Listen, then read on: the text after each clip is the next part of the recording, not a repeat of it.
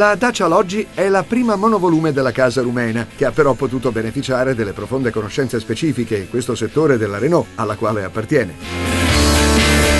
Rientra nella fascia media della categoria, con una lunghezza di 4,50 m ed è disponibile nelle versioni a 5 e a 7 posti, a prezzi così bassi da renderla praticamente senza rivali. La terza fila della sette posti è formata da una panchetta che può ospitare anche due adulti. Tenendola in posizione, il bagagliaio ha una capacità di 207 litri. Togliendola, il vano di carico passa a 827 litri e lasciando agibili soltanto i due posti anteriori, arriva a 2617 litri.